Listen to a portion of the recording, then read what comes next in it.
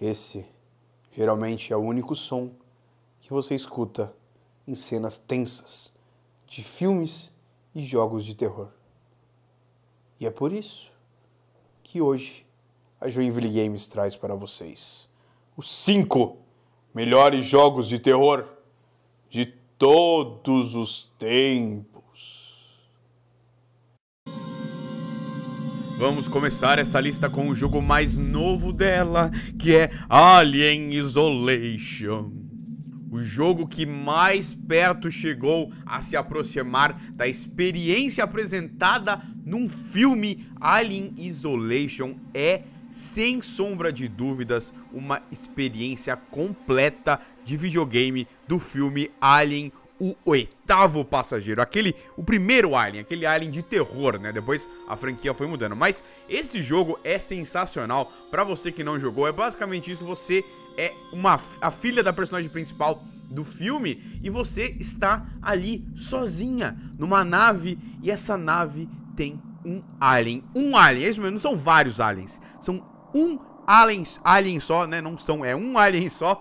E ele está ali para te matar. E você não tem muito como se defender dele. O máximo que você pode fazer é tentar ali, tem um lança-chamas uma hora que você pega, você pode tentar se esconder dele nos lugares e é basicamente isso, cara. É o terror que o jogo consegue te proporcionar apenas com é, os ambientes, a ambientação do jogo se passa numa nave e com você tentando fugir desse monstro que, se ele te enxerga, você morre. É uma certeza quase completa que você pode ter. Então é um jogo muito tenso e que realmente te faz sentir aquele medo visceral do Alien.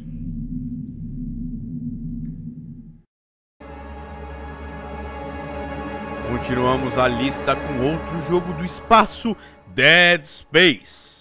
É, bebendo muito da fonte do Resident Evil, o Dead Space veio com tudo e conseguiu ainda misturar algumas outras coisas. Tem bastante ação no jogo, mas também tem muito ali é, de você estar explorando os mapas e os mapas serem realmente assim muito é, é, tenebrosos, muito escuro e tudo muito que te dá medo assim. Os inimigos realmente também são muito criativos a escolha que eles tiveram para você é, é, enfrentá-los, que você não adianta você atirar no seu, no, na cabeça do seu inimigo, não, você tem que cortar os membros dele, cortar as pernas, cortar os braços, porque só assim eles são derrotados. Isso adiciona uma, um level de terror muito maior no jogo, né, porque o seu inimigo, mesmo que você corte as pernas dele, ele vem correndo atrás de você com tudo, usando os braços, então você tem que ser muito rápido, não adianta só mirar no meio do corpo do inimigo, e detoná-lo, você tem que ser muito estratégico para não morrer nesse jogo e para matar os seus inimigos. E isso com certeza adiciona um nível de tensão muito alto ao gameplay que né, combina bastante com a ambientação do jogo, né, com aquele sentimento de terror que você sente em Dead Space. É uma franquia sensacional, o 1 e o 2 são excelentes. O 3 é uma bosta, mas a gente vai botar aqui na lista é o 1, que na minha opinião é o melhor de todos. É muito bom e, cara, é com certeza um clássico do terror nos videogames.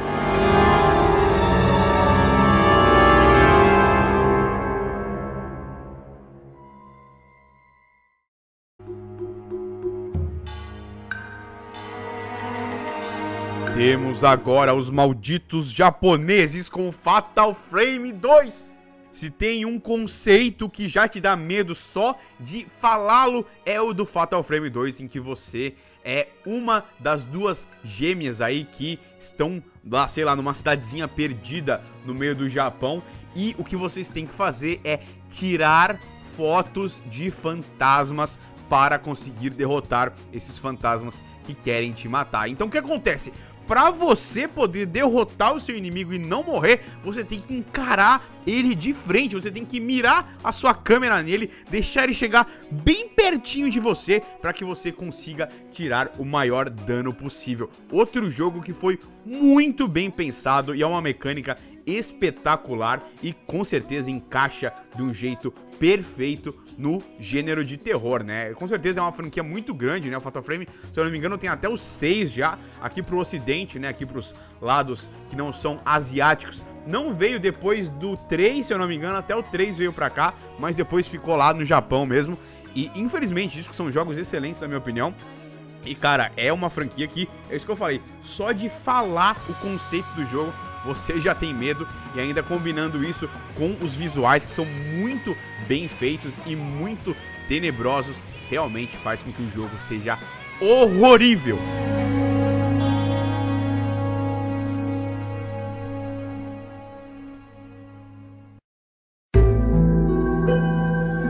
Agora vamos falar de algo simples, algo que você estava esperando estar aqui na lista, que é Resident Evil 4. É, eu poderia botar o Resident Evil 1, poderia botar o Resident Evil 2, poderia botar o Resident Evil 3, poderia colocar o Code Verônica, poderia colocar todos os Resident Evils da época clássica deles, mas eu escolhi o 4 porque ele consegue fazer essa mistura excelente de ação e terror que os Resident Evils antigos antigos traziam, né? A gente teve até uma volta disso aí no 7. Eu não gostei muito do 7, vou ser sincero, mas é, eu senti que eles conseguiram voltar depois do 5 e do 6, que foram mais focados realmente em terror. Mas a gente tem que concordar que o 4 foi o que fez essa mistura de terror e de ação o melhor jeito possível, né? Quem não vai lembrar de ter medo daquele cara com um saco de papel na cabeça que vinha com a serra elétrica pra cima de você, que nem um maluco. Aquilo realmente dava muito medo, sem contar os chefões e também um inimigo que eu nem vou falar aqui, porque só de falar nele eu tenho medo, mas se você jogou, você sabe de que inimigo é esse que eu tô falando, né? Só vou lembrar vocês que ele era preto. É a única coisa que eu vou falar pra vocês. Cara, que medo que dava esse jogo, que jogo excelente também, uma jogabilidade monstra e Resident Evil não poderia faltar aqui. Eu coloquei o 4 porque, na minha opinião, é o melhor que eles já fizeram.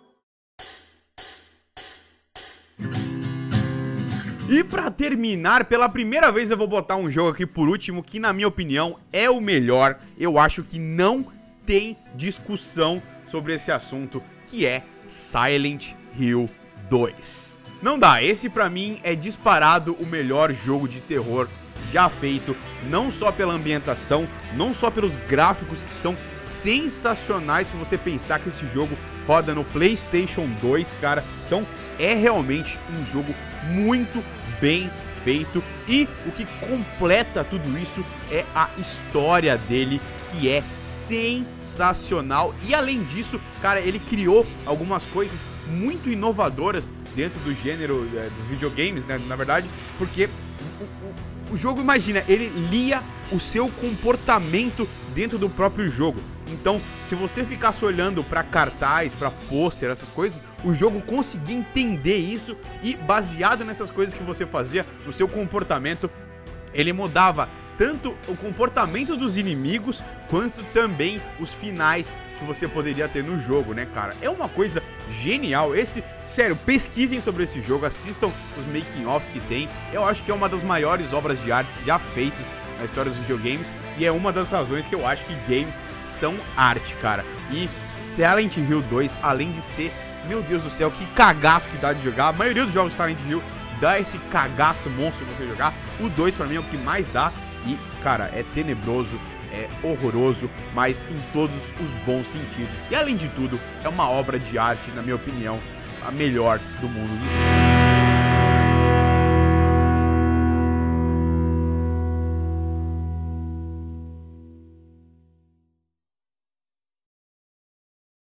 Esses foram os cinco melhores jogos de terror de todos os tempos. Se você não concorda, alguém irá na sua cama no meio da noite e te picotará inteiro. Mas você pode testar a sua sorte e deixar um outro jogo que não está nessa lista nos comentários aqui embaixo deste vídeo.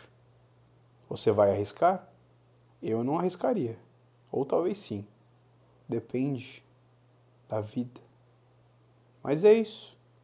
Deixe aquele joinha aqui neste vídeo.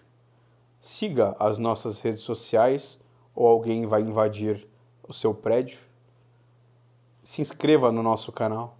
Acompanhe os outros vídeos para não ser assassinado. É isso. No mais, a gente vai ficando por aqui um aperto no pescoço para todos e também um beijo.